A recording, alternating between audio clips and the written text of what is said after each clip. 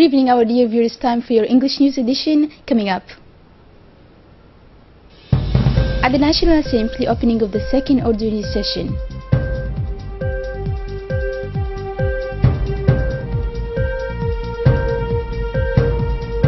the region news Somalia hosts Turkey's largest overseas military base. Those are top stories and thanks for joining us in our newsroom. The National Assembly opened this morning its second session, the so-called budget session, which is devoted mainly to the examination of the state budget for the uh, financial year 2018. And this sermon sitting uh, was opened by the President of the National Assembly, Mr. Muhammad Ali Houmed, and all the members of the government, including Prime Minister Abdul Qadir Kamil Muhammad, Parliament, civilian and military officials, and members of the diplomatic corps uh, Uh, attended the session. A guest of honor followed this parliamentary entry, namely Mr. Murad Abdul Hadi, chairman of the executive committee of the Harar region. Upon arrival at the scene, the Prime Minister was warmly welcomed by the Speaker of the National Assembly, surrounded by members of the Executive Bureau.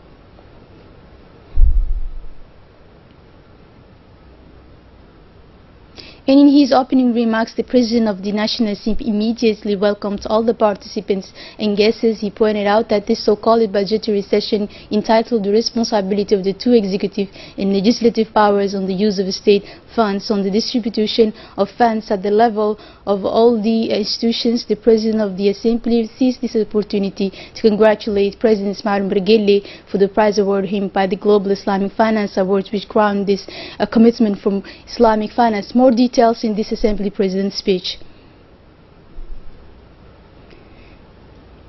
And for the Prime Minister Abdul Qadir Kamil Mohammed, the opening of the meeting of the budget is an important moment and will present the budget next year.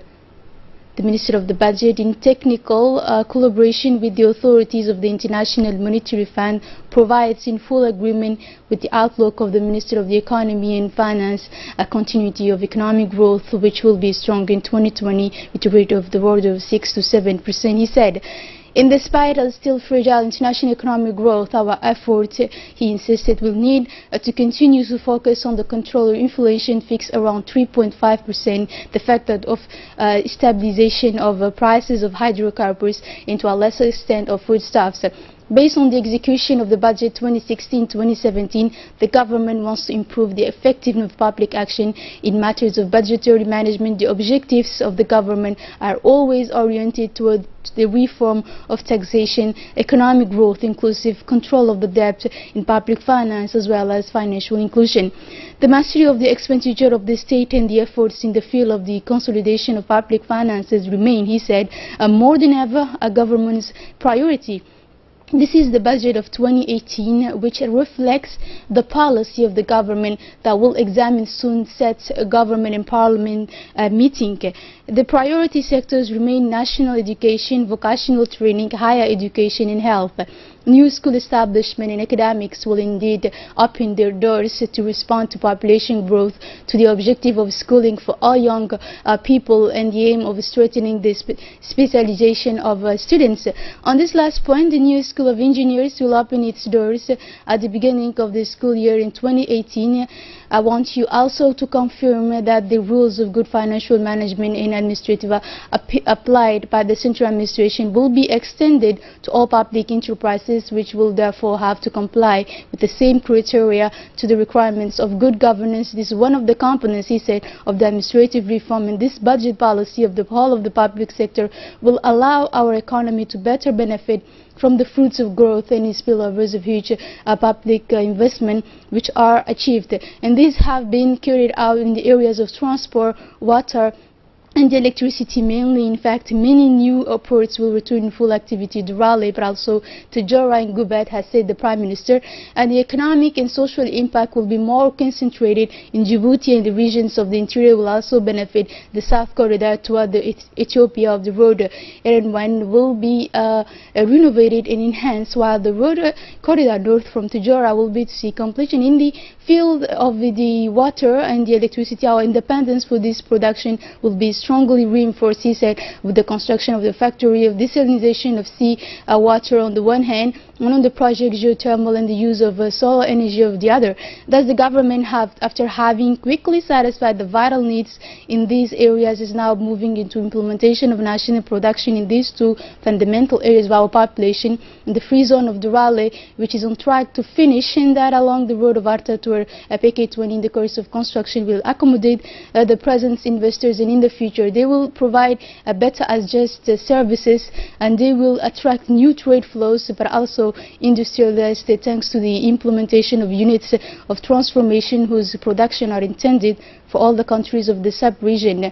The Prime Minister has continued with his speech for the second part he said that the countries of IGAD, of the COMESA and the Arab League is and will be the recipient thanks to the trade agreements that we have with them. All these heavy investments have for the purpose of creation of permanent jobs for the Djiboutians. The government has done since more than 15 years of efforts in the field of training, education and health to ensure that our youth can be inserted in the world of work with efficiency and competence. Um, but the government wants to go even further. He said the creation of jobs also passes by the creation of new small businesses that can develop in the margin of the large investment project. The Minister of Trade and Commerce launches a campaign to sensitize the population to the consumption of domestic products and to the creation of new businesses. And today it's necessary to know that the solution is by the private sector and our fellow citizens must hear the truth and uh, do not believe those who make false promises. Also, the government has put in place a framework for a public partnership private and this new collaboration can be creating jobs with the rules of operation of the private sector. With the improvement of administrative governance the government wants to improve uh, and provide better delivery of services to the population. For this it's going to uh, pursue the modernization of the administration make it more efficient more near and in the service of the citizen. The government asks to issue administrative service in the relations with the uh, with the administration to put in place reception desks and information and this will be an application creating telephone service as well. Always with this concern to facilitate the lives of our fellow citizens, the government will also continue and accelerate implementation of the decentralized a first concrete step in this approximation between the population and the administration. It is not normal that to speak to a ministerial department, it is necessary to come at the bottom of Balbala or districts of the interior in Djibouti. Each department will need to arrange the creation of an antenna in the regions and it is not normal also, also that to receive a salary or a pension or pay tax, is not necessary to come to Djibouti, say the government there will deal. And the Minister of the Budget is already responsible for the application of this measure. The whole of population is concerned and nobody will be forgotten.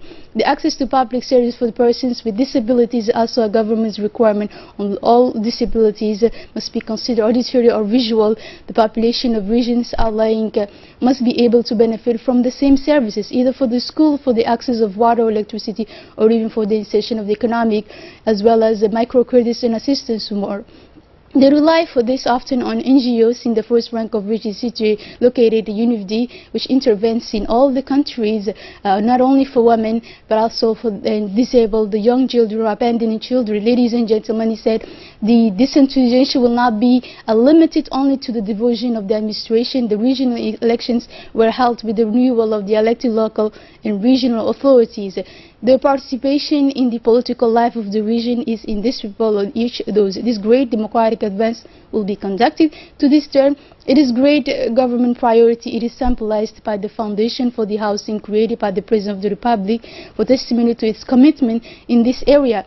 Very many social housing and means standing have been uh, created uh, in Hodan 1 and 2 as well in Balbala have been among the first programs but thousands of others were constructed he said. And finally among the great expectations of the population the problem of the security remains prominent he said. Also our population wants to keep this precious uh, well peace. The President of the Republic has always wanted to maintain the best relations the nation will confront these assaults that they be directed indirect by the intermediate of mercenaries and terrorist extremists, as in the case with Eritrea. The government will therefore remain very vigilant against the troublemakers and all those who attack to people and property.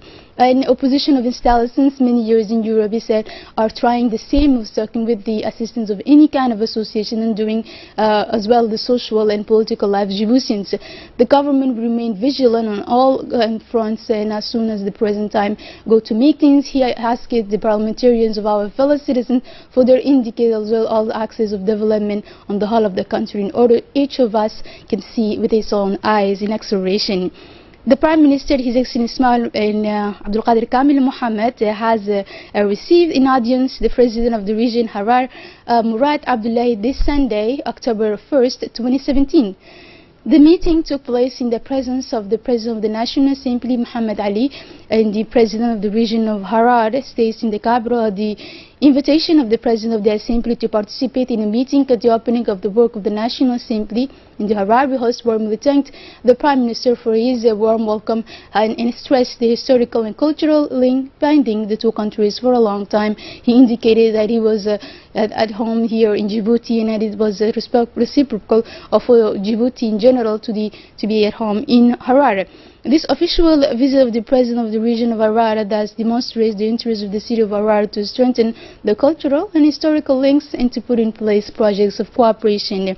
Continuing with the national news, the Minister of Defense in charge of relations with the Parliament, Ali Hassan Bahdon, has received today the ambassador of, the, of Russia Sergei Kosmatov in his cabinet, in addition to the Minister of Defense, took part in the hearing. The military technical advisor of the ministry as well as the Council of the Embassy of Russia in Djibouti during their talks. Uh, the two sides rejoiced at the excellence of bilateral relations in both fields in general and that of military cooperation in particular.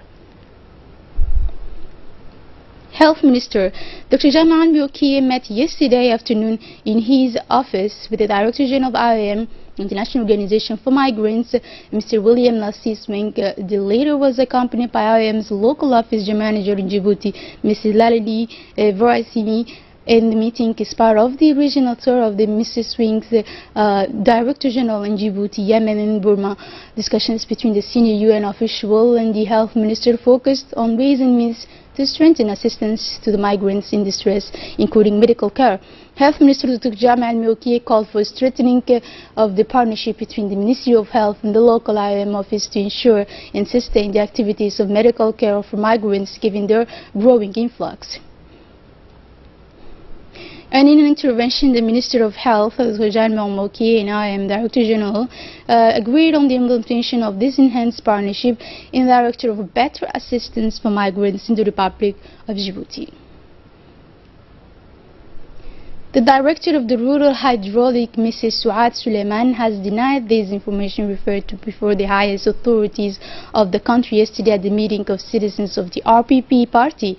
The director has admitted uh, in an intervention that there are breaks by time because of, as well as a water line that feeds Yoboki uh, from a drilling located 10 kilometers. The service concerned performs the repairs in less than 48 hours. The rehabilitation of these lines is in the agenda for 2018, she has indicated. Following the inclement weather of yesterday that caused stagnant rainwater to appear in some areas of capital, the National Institute of Public Health of Djibouti, known as the INSPD, has seized the urgency to carry out a vast operation combined throughout the capital to prevent and eliminate any form of proliferation of uh, or mosquitoes. Indeed, uh, the NCP has opted for a multifaceted uh, strategy that combines several complementary actions in anti-bacterial fight carried out by the Ministry of Health. The first step is to evacuate the stagnant storm water uh, through an emptying truck to dry the flooded areas. And on this, the director of the institute said uh, this will be reinforced by spreading activities that involve uh, the spread of bioinsecticides uh, that have uh, prov proven to be effective in eliminating mosquitoes level in urban areas with uh, fertility no environmental impact. In the framework of the bilateral and fraternal cooperation between the Republic of Djibouti and the Republic of Turkey, A Djibouti delegation from the various technical uh, departments linked to the management of the city of Djibouti will pay a working visit from 24 and 30 September 2017 to Istanbul, Turkey, composed of the uh, frameworks of executives of the Ministry of Housing, of Town, of Environment, the Ministry delegate to the Ministry of Housing, of Environment as well in charge of housing, the Ministry of Budget, Ministry of Transport Equipment, the City of Djibouti. Uh, this working visit follows an invitation from the Istanbul City Council and the main objective of this visit is to share good practices and experience in the development and urban management of the municipality of Istanbul. During their visit, the Djiboutian delegation met with senior officials from the APITA and Urban Development Directorate of the Istanbul City Council, the IPTAS company responsible for the construction of social housing, the IAT company in charge of transport management of the city of Istanbul. Dr. Muhammad Ali Kamil, Ambassador Extraordinary Plenipotentiary of the Republic of Djibouti in Russia Federation, presented to the President of the Republic of Belarus, His Excellency Alexander Lukashenko, his letters of credence in his capacity as Ambassador Extraordinary and Plenipotentiary of the Republic of Djibouti to the Republic of Belarus uh, with resident of Moscow. As well, the head of uh, the state of the Belarus, uh, for his part, asked the new ambassador to convey his best greetings to his Djiboutian counterpart. He praised the determination shown by the Djiboutian president in his effort to promote peace in the Horn of Africa region and the unremitting efforts to combat maritime piracy and security of the main shipping route. And now, uh, the regional scene. Turkey has inaugurated Somalia's largest foreign military training center. Somalia's fragile institutions, including the army, are being supported by the international community, including the deployment of 22,000 strong African Union force in Somalia, AMISOM, in the support of the United States. Saeed Mohammed has more to tell us. Somali and Turkish officials on Saturday officially opened a military training base in the Somali capital, Mogadishu. The facility is Turkey's largest overseas military training camp. Somalia Prime Minister Hassan Ali Khaire was joined by the Turkish Army Chief General Hulusi Akar and other top officials for the ceremony. Turkey is seen as a major security and development ally of the Somali people. President Erdogan last year opened the country's new embassy also in Mogadishu.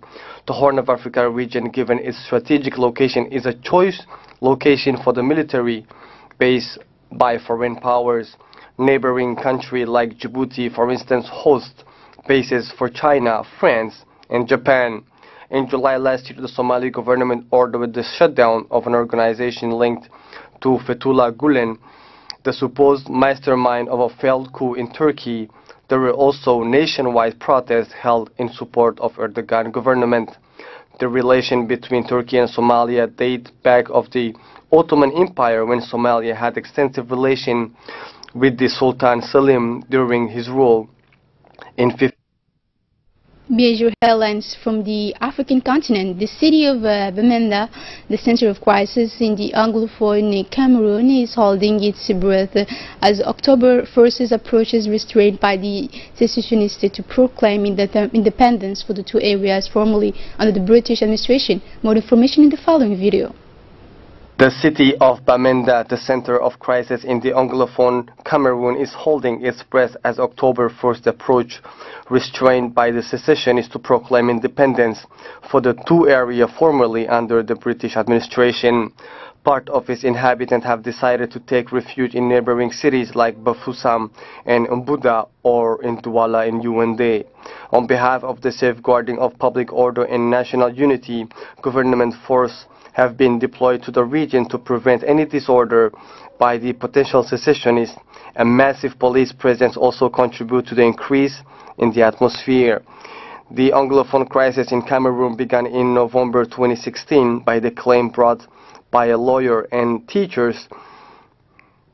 These last few weeks it has taken a new turn with demonstration leading to even explosion of homemade bombs in Bamenda and Douala about 20% of the 22 million Cameroon, Cameroonians protest against what it called its marginalization in education and the judiciary particular is none other than very fact, very fact according to them.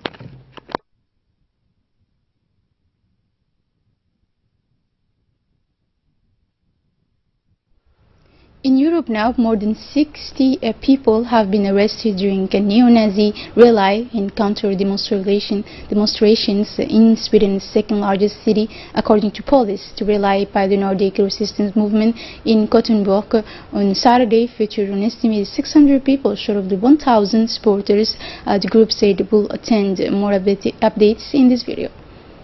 A neo-Nazi rally in Sweden has ended with dozens of arrests after anti-fascist clash with members of the Nordic resistance movement. Hundreds of members of the Nordic resistance movement has planned to march through the city of Gothenburg, but troubles broke out between the police and the far-right group when they tried to deviate from the agreed route. The leaders of the group, Simon, Lin Simon Lindberg, was among those arrested. Some anti-fascists were also detained. The Nordic resistance movement described itself as a national socialist group and is not banned. It aimed to stop mass migration and fight with what it called global Zionist elite. Police were deployed from across Sweden to help manage the rally. That's all for this edition. Thank you for following us on RTD channel. Have a good night.